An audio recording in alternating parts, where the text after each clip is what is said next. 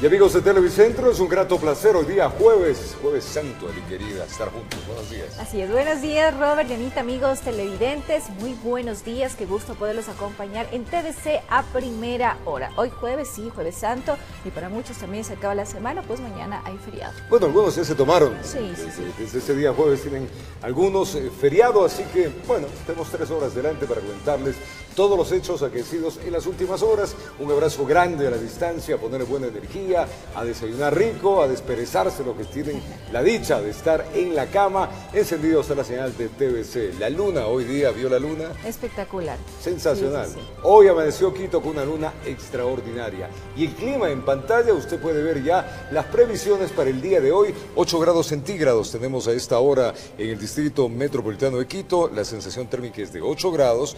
Eh, pues habrá chubascos en algunos sectores a esta hora. El viento está en 2 kilómetros por hora.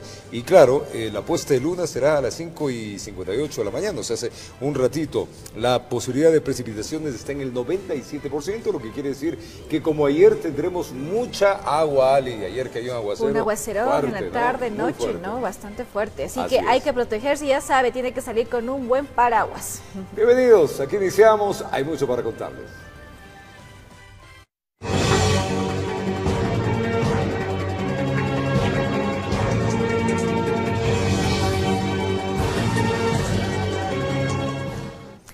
Cuatro personas fallecieron y dos resultaron heridas en un accidente de trans- tránsito registrado en la vía Calacalina-Negalito.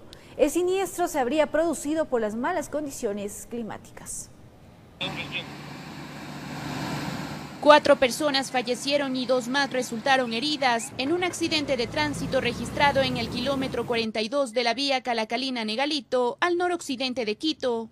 en el cual un vehículo pierde pista y cae al precipicio, aproximadamente unos 150 metros. Entre los fallecidos está un menor de edad de 17 años, mientras que los heridos, una niña de 7 años y un adolescente de 15, fueron trasladados a casas de salud en la capital.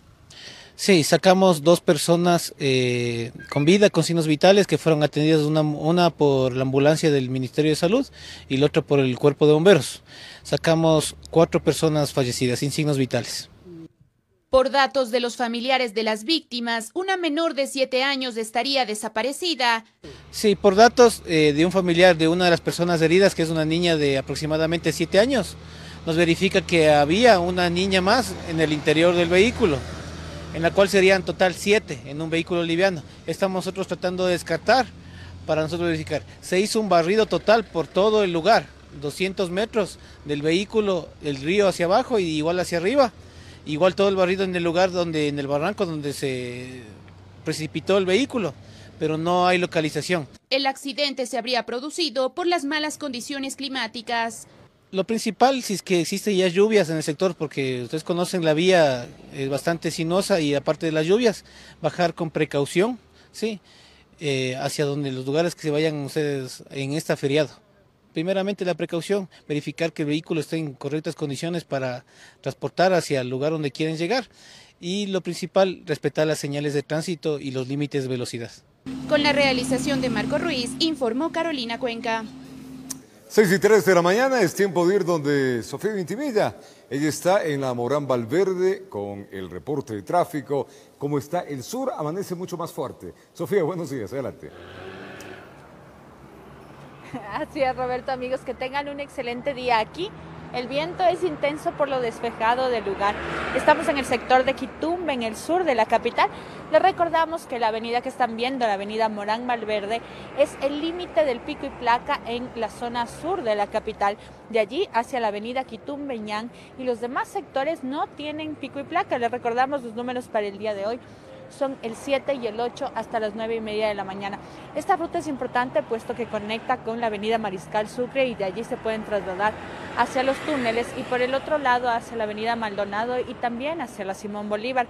La otra vía es la avenida Teniente Hugo Ortiz, otra de las arterias importantes aquí. Como pueden ver, es bastante amplio, sin embargo ya hay una gran carga vehicular, inclusive también muchísimos vehículos pesados también circulan por esta zona. Así que la recomendación es que salga con las debidas precauciones para evitar trancones usuales en este sector en unos minutos. Además también ya mucha gente camina a sus, sus destinos y esperamos también que varias de las estaciones también los comercios que existen en la zona poco a poco vayan abriendo y así es como amanece el día de hoy la capital disfruten del día, también disfruten del feriado. Parece que va a haber un buen tiempo, al menos en la mañana.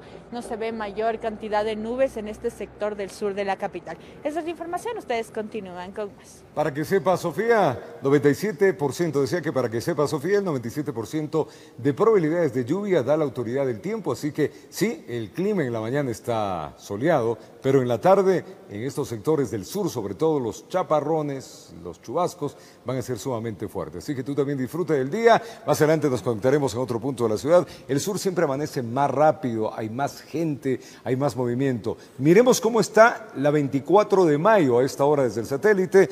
El sector de la 24 de mayo del Yacu ya presenta congestión. Esta es justamente la avenida occidental. Ya presenta, ustedes están viendo en pantalla, las zonas rojas y verdes corresponden a tráfico fluido, anaranjado, semi complicado y el rojo es complicado. Si revisamos un poco más acá, estamos viendo que por acá, en la Ladrón de Guevara, en el sector del Coliseo Rumiñahui, el tráfico está sumamente fluido, no existen problemas. En cambio, ya se comienza a congestionar la avenida Orellana, esta arteria que va para la González Suárez y que va hacia la 10 de agosto, hacia mm, la América, zonas en las cuales está el centro norte de la actividad de la ciudad de Quito. En esta parte de la ciudad, en la avenida Coruña y la 12 de octubre, ya presenta también algo de congestión en la zona norte. Los túneles están fluidos en la 6 de diciembre, en donde va hacia las Chiris y el Hoy Alfaro, ya presenta algo de congestión. El resto de la ruta que une a la Ruta Viva, al Valle de Cumbayá y Tumbaco y también Los Chillos, no presenta mayor inconveniente, salvo evidentemente a la hora del peaje. Así está la ciudad de Quito en este día jueves, donde comienza ya el feriado nacional. Ali. Tenemos más información. Un tanquero de leche fue a parar al fondo de un socavón de gran magnitud producto del deslizamiento de tierra por las lluvias y la acumulación de basura en el sector de la Patagonia, en el Cantón Mejía. A la altura del puente de la Patagonia en el barrio Miraflores Alto de Aloasí, un tanquero de leche fue a parar al fondo de un socavón. La mesa de la vía prácticamente cedió y prácticamente eso también afectó a un vehículo que estaba pasando por ahí, el recolector de leche. Aproximadamente con mil litros de, leche eh, iniciaba la jornada y obviamente está el momento que se dio la, la mesa, pues obviamente se hundió con todo el vehículo. El agujero de grandes proporciones se habría dado por la acumulación de basura en la zona lo que provocó que la tierra cediera y que el pesado vehículo caiga en el socavón. Y esto se debe básicamente que en el 2015, cuando hubo las afectaciones de las lluvias fuertes, pues nos ocasionó un grave problema. Hasta hoy día vimos eh, que han venido a botar una vaca. Aquí también, también ha estado taponado por eso y por eso es lo que se viene a comer el, el puente por abajo. Moradores del sector dicen sentirse preocupados por el accidente y solicitan el arreglo inmediato de la vía. Póngase que a las 6 de la mañana ya baja el carro de Umbría, el bus de Umbría, lleno de gente, de estudiantes, de niños, de todo. ¿Qué hubiera sido, qué hubiera pasado? No hubiéramos estado a más que lamentando pérdidas eh, materiales. Cualquier persona que esté a cargo, que se haga, pero responsable y nos dé el puente nuevamente, porque perdemos nosotros la línea de que pasa acá a Miraflores, nosotros estamos sin, sin bus ahorita, sin transporte. Informó Edison Saavedra. Gracias por acompañarnos y amanecer junto a nosotros. En la provincia de Imbabura fue desarticulada una presunta organización delictiva. Esta se dedicaba al tráfico material de aurífero. Varios sospechosos ya fueron detenidos. Entre las evidencias se decomisaron bultos con material minero. Miremos.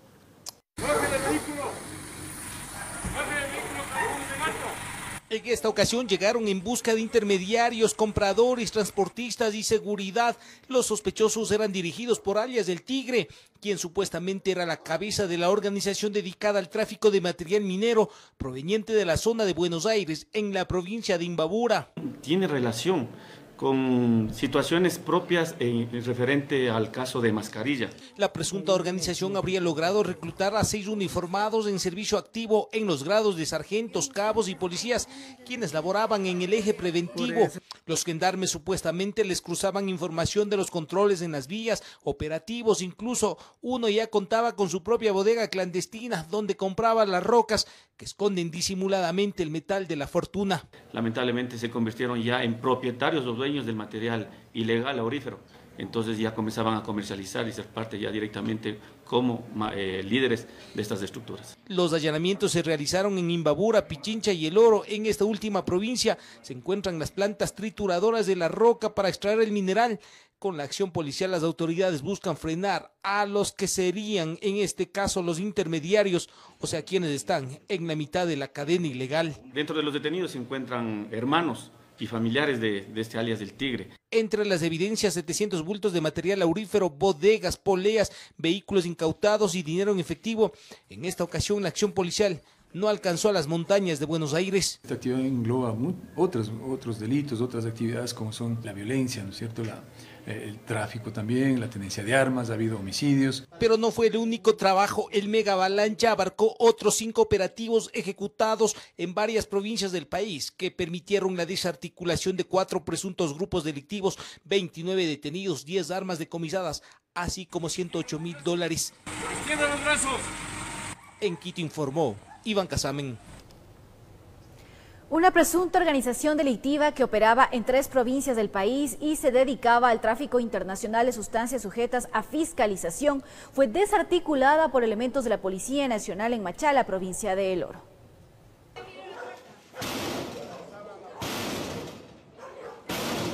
Hasta la parroquia de Puerto Bolívar del Cantón Machala llegaron los agentes policiales de la Unidad de Inteligencia Antinarcóticos con coordinación europea, apoyados por el Grupo Táctico GEMA, a ejecutar cuatro allanamientos en diferentes inmuebles ubicados en los sectores Venecia del Mar, Acapulco y El Pampón. La consigna era capturar a los integrantes de una organización delictiva dedicada al tráfico internacional de sustancias sujetas a fiscalización. Tendrían como centro la ciudad de Machala, en los cuales eh, estarían contaminando una serie de contenedores que posteriormente enviarían la droga a diferentes países europeos y también eh, a camiones que enviarían drogas a través de estos camiones al país chileno. Cuatro personas, entre ellos el segundo al mando en esta red delincuencial, fueron detenidos. Ellos laboraban como operadores en la terminal portuaria. Son los que estarían ayudando y colaborando para eh, contaminar la droga a través del puerto eh, aquí en Puerto Bolívar.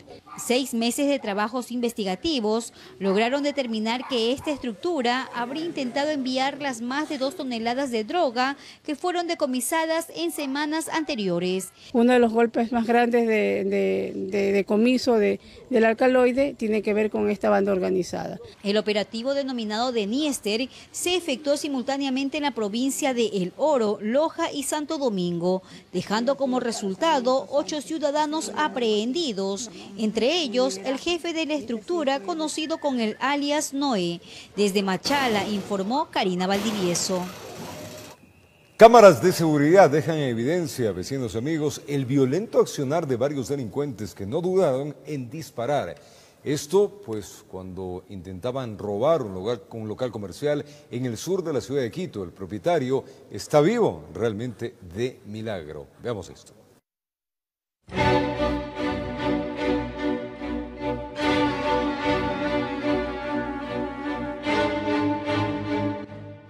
El local está ubicado en el barrio Alianza Solidaria al sur de la capital.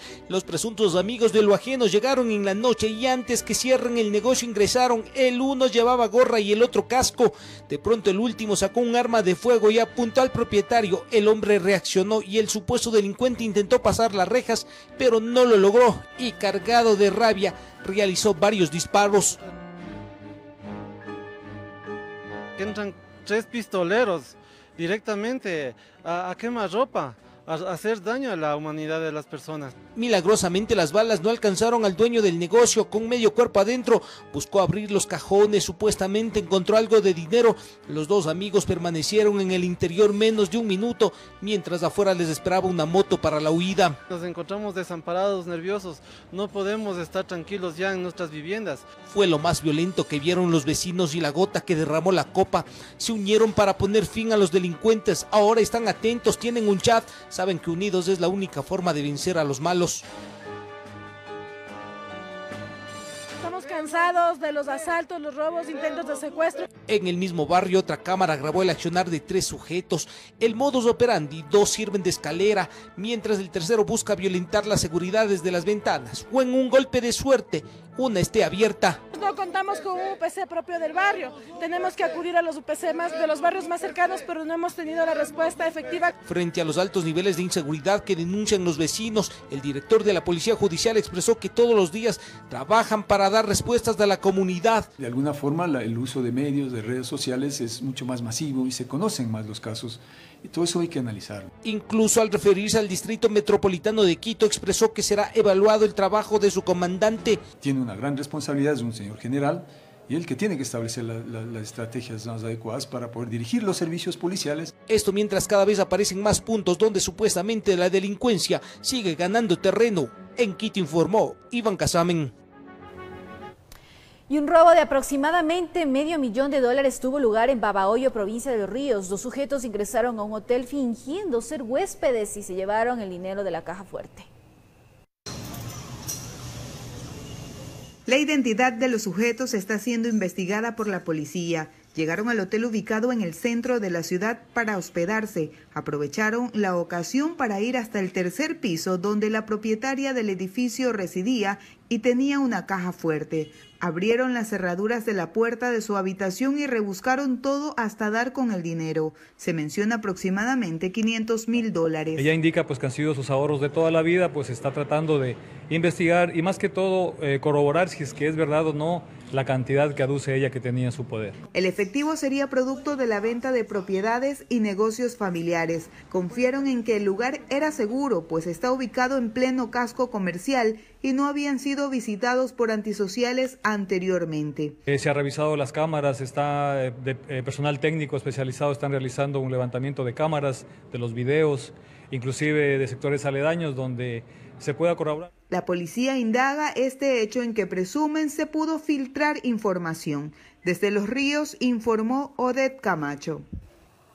6.29 en la mañana, 5.29 allá en Galápagos. Tiempo de contarles que un hombre murió tras caer de una altura de 5 metros cuando estaba pintando la fachada de un edificio, esto en el centro de Guayaquil. Este sujeto dejó ya en Onfarnat a dos menores de edad. Lamentable. Veamos. Era el tercer día que Juan Barzola, de 34 años de edad, asistía a pintar este edificio ubicado en las calles Chimborazo y Vélez, en pleno centro de Guayaquil. Y una mala maniobra hiciera que el hombre cayera desde la terraza al cuarto piso, donde junto a sus otros compañeros se encontraban pintando el interior. Se rebaló del, eternil que pisó y lamentablemente cayó. Y recién comenzó el día lunes y lamentablemente, pero le advertimos a él, no pises el techo que está feo pero se veía dónde caminar por acá. Tranquilamente no me pasado nada, pero las cosas, lo que pasan también, fue sin querer también. Mi se cayó nada más arriba. No, cinco metros nada más. Cinco metros nada más.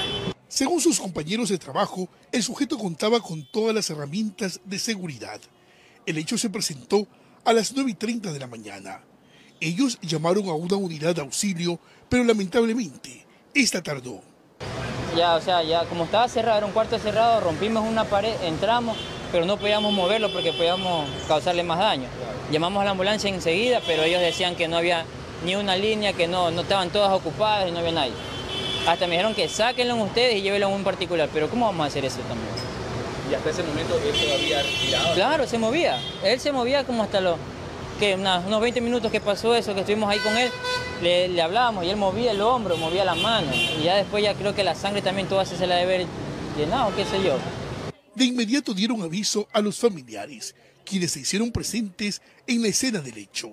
Es que dice que no ha tenido los primeros auxilios porque no han dejado ingresar y esto como ha sido 9, 10 de la mañana, imagínense la hora que, entonces llegaron los familiares y no dejaban ingresar, entonces recién vemos el cuerpo ya está muerto, pero no sabemos si le dieron los primeros auxilios o no le dieron. Claro, tiene tres niños. Elementos de criminalística de la Policía Nacional también estuvieron en el lugar y efectuaron el levantamiento del cadáver. Ocho y media de la mañana aproximadamente habían procedido a subir a trabajar y en el momento que estaba intentando jalar la cuerda de protección, se le vence el cuerpo hacia el esternín que ya estaba un poco deteriorado por el uso del paso de los años y con eso se viene abajo el señor. El cuerpo del hombre fue llevado a la morgue de la policía, informó Carlos Julio Gurubendi. 6 de la mañana y 32 minutos, gracias por estar con nosotros acá en Televicentro. Hoy día se espera mucha gente que va rumbo a diferentes sitios turísticos del Ecuador. Comenzamos un feriado y claro, los terminales de salida de la ciudad de Quito, del distrito metropolitano, siempre ya comienzan a tener actividad inusitada. Para eso, vamos al terminal de Quitumbe. Sofía Intimidi está allá para contarnos cómo comienza la actividad en este día jueves santo. Sofía, buen día, adelante. Así es, Roberto, nuevamente con ustedes y ahora estamos en este sector del sur de la capital donde está el terminal terrestre de Quitumbe y ustedes pueden ver ya la gran carga de transporte público que sale desde esta terminal hacia los diferentes destinos intra e interprovinciales que están aledaños a la capital. Pueden ver también el lugar de encomiendas que ya también desde muy tempranas horas tiene gran cantidad de personas como es usual. Por lo general, en las horas de la tarde es donde mayor personas, eh, aglomeración de personas espera en este terminal. Sin embargo, podemos ver ya una cantidad importante de buses de transporte público que están saliendo de este lugar. Y además, en cuanto al tráfico, sí, probablemente se forman eh, trancones en entrada y salida del terminal debido a que obviamente hay una gran carga de vehículos y también de personas que circulan por este lugar. Durante estos tres días de asueto se espera obviamente presencia de agentes civiles de tránsito y la Policía Nacional de una mayor cantidad a la que es normalmente predispuesta para estas estaciones, puesto que la ciudadanía por lo general llega de manera masiva a estos lugares. Así que tomen las debidas previsiones quienes van a circular por estos lugares, ya que obviamente entre hoy en la tarde y también mañana en la mañana se espera una gran cantidad de carga vehicular en esta zona del sur de la capital y probablemente suceda lo mismo en el sector de Carcelén en el norte de Quito. Esa es la información hasta el momento, así que disfruten de estos días de asueto y planifiquen también cuáles serán sus actividades para el feriado que nos espera. Roberto. Feriado de Semana Santa, gracias a Sofía. Está en los terminales, las salidas de eh, los diferentes puntos del Distrito Metropolitano de Quito y evidentemente las congestiones se pueden dar. Hay que salir con tiempo, hay que evitarnos los trancones que ya tenemos en la ciudad de Quito. Cerca de Machala, o sea, de la calle Machala, avenida Machala, en el norte de la ciudad, estamos rojos. Así que miren, la Manuel Córdoba Galarza en el redondel ya hay mucho tráfico. Este también sube hacia el occidental o a la Antonio José de Sucre y cerca de la Machala, ahí estamos viendo zonas en las cuales, eh, pues eh, en el condado, sobre todo en, la, en esta que es la avenida Francisco, me parece que esta es la Francisco, ya lo vamos a ir diciendo, Francisco de eh, Rumiurco, hay mucho tráfico. Miren, Toda esta zona está anaranjada y está roja. Esto es en el norte-norte de la ciudad de Quito. Si bajamos un poco podemos divisar que el occidental también presenta ya carga fuerte de tráfico. Y si vamos hacia otros sectores de la ciudad, vamos a divisar que el trébol, donde ya hay la carga fuerte, el trébol ya está roja. Esta es la avenida Pichincha, estamos viendo la, al esta es la entrada hacia la autopista Rumiñahui, en la cual va hacia los valles, tanto mm, el Los Chillos como el de Tumbaco y también hacia el aeropuerto. Y vemos como del lado de norte a sur existe carga sumamente fuerte. La avenida Pichincha también, que va hacia el centro y norte-centro de la ciudad, tiene carga vehicular. O sea, a esta hora, 6.36 de la mañana, Quito está sumamente movida Todas estas zonas del centro de Quito también tiene una carga fuerte, producto de que estamos viviendo jueves y viernes santo, donde hay mucha actividad de los creyentes.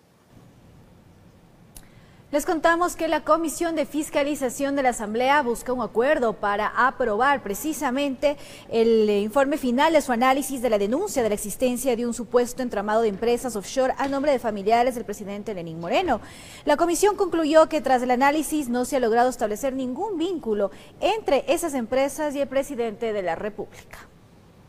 Dentro de la comisión había un primer consenso, determinar que tras el análisis de la denuncia y revisando los documentos entregados por quienes presentaron el pedido y de las instituciones de control, no se pudo determinar que el presidente de la República tenga vinculación directa con el caso denominado INAPapers. La representante del SRI dijo que no había vinculación del presidente con ningún tipo de estas empresas, ningún tipo de manejos económicos, ni traspasos, ni fondos, ni nada. No se ha podido determinar ningún nexo directo del presidente de la República, pero sí de su hermano que si bien existe evidencia de que el hermano del presidente posee empresas offshore que habrían sido utilizadas, al tratarse de personas privadas, el caso deberá ser analizado e investigado por la Fiscalía. La fiscal general de la Nación investigar, pedir una asistencia penal, una cooperación internacional a Panamá abrir estas cuentas y ver las transferencias, los depósitos, los movimientos. Pero acá dejan en claro que si tras la investigación de la Fiscalía se determina algún tipo de vinculación con el primer mandatario, cualquier bancada podrá iniciar un proceso de juicio político más adelante si lo creyeran conveniente. Estos elementos podrían conducir a la, a la presentación de un juicio político en lo posterior. Que cualquier bancada, en el orden de las competencias de los legisladores, podrá iniciar un juicio político si es que logra evidenciar algún tipo de irregularidad de cualquier función público, así como también del presidente vicepresidente de la República. El informe final que debe ser elevado al Pleno de la Asamblea debe ser entregado a la Presidenta a más tardar este jueves, día en el que concluye el plazo otorgado por el Pleno de la Legislatura para esta investigación. Informó Javier Gallo.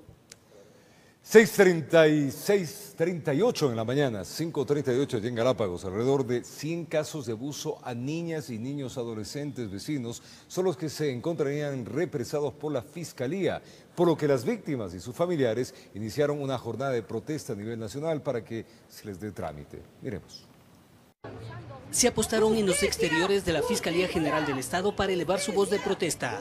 Llegaron de diferentes partes del país. Rechazan el abuso sexual en Añeñez. Y en los casos que están archivados se nos dé respuestas por qué fueron archivados esos casos. ¿Hablamos de cuántos casos? ¿Tienen idea? Los casos que se encuentran represados son más de 100 en las diferentes operadores de la Fiscalía General del Estado. Juan Valles prefiere no ocultar su rostro para relatar la violación sexual de la cual dice habría sido objeto cuando tenía 16 años de edad. Asegura lo mismo le ocurrió a un centenar de adolescentes. El responsable sería un cura de Guayaquil. Nos amarró, nos golpeó desnudos en su cama eh, y actualmente pues la fiscalía decidió archivar mi caso. Ahora está en manos de la jueza, de la jueza que decía si se archiva o no. Pero por favor, queremos ver si realmente hay integridad y garantías del Estado hacia las víctimas. El caso de Jorge Palacios es similar casi toda su vida. Ha transcurrido con ese dolor interno su corta edad le impidió enfrentar a un sacerdote de Cuenca que abusó de su inocencia. Fuimos victimizados en cierto punto por la fiscalía, porque la fiscalía te obliga primero a ir a la medicina legal. En medicina legal yo tengo que volver a ser niño, volver a, contar el calvario que, que, pasé y después ante una fiscal la misma eh, situación de poder declarar ante ella qué es lo que me pasó. Casos de abuso sexual en niñas, niños y adolescentes en el ámbito familiar, educativo y la iglesia, que fueron puestos en conocimiento de la fiscal Diana Salazar, con esperanza que se judicialicen como fue uno de los objetivos de la Comisión Ocasional a Ampetra. Tenemos la esperanza, sí, en la nueva fiscal. Tenemos la esperanza que no se vuelva como otras autoridades del gobierno que empiezan y llegan a las instituciones y por el odio a ciertos partidos políticos, por el odio a ciertos personajes, se preocupe más la palestra pública de la corrupción. Cuando estos temas tan lacerantes, tan vulnerables como es el tema de los niños, niñas y adolescentes y el abuso sexual ha pasado no a un segundo plano, sino a un tercero o cuarto plano. Este es el inicio de una serie de plantones que pretenden desarrollar a nivel nacional como muestra de rechazo y que su voz no se apagará. Y para que se dé cumplimiento a la consulta popular, donde el 75.53% de ecuatorianos votaron para que este delito no prescriba. Informó Héctor Romero. Es momento de irnos una pausa comercial. Al retornar, la tradicional ceremonia de arrastre de caudas se desarrolló el día de ayer en Quito.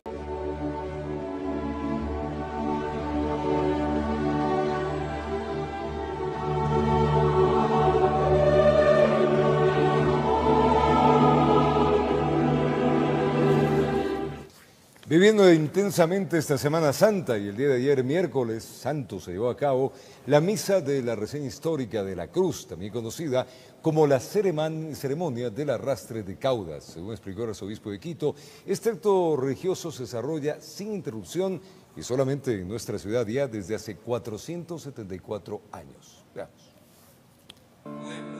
Con la iglesia de la Compañía de Jesús completamente llena, inició la ceremonia de arrastre de caudas. Este acto religioso, según explicó el arzobispo de Quito, lejos de parecer un acto folclórico, es la expresión de lo que significa para el ecuatoriano y en particular para el quiteño ser un verdadero cristiano. Somos una sola cosa, un solo país, un solo credo y todos y todas las religiones creen en eso, en que tenemos que hacer el bien Dentro de la rastra de caudas y batida de la bandera, el venerable cabildo de canónigos presididos por el arzobispo utilizan sus respectivos vestidos de coro, que son llevados durante las ceremonias fúnebres. De su parte, el arzobispo mantiene una capa magna y bonete cubierto por una cogulla. Los canónigos emprenden el recorrido vestidos con capas negras y cogulla con vueltas de terciopelo. La cauda negra de varios metros los acompaña, desplegada en toda su extensión. En la solemne procesión fúnebre cada canónigo va acompañado de dos acólitos que llevan cirios. Un tercer canónigo cuida la extremidad de la cauda. Al llegar al altar el prelado dejando la reliquia de la bandera cruz de Cristo y tomando en sus manos la bandera negra con cruz roja, la bate primero sobre el altar y luego lo hace sobre los canónigos arrodillados y postrados en el coro bajo. Antes del cristianismo había una ceremonia especial que solían hacer batiendo la bandera para que den culto a aquellos que murieron anteriormente en batalla, los soldados héroes.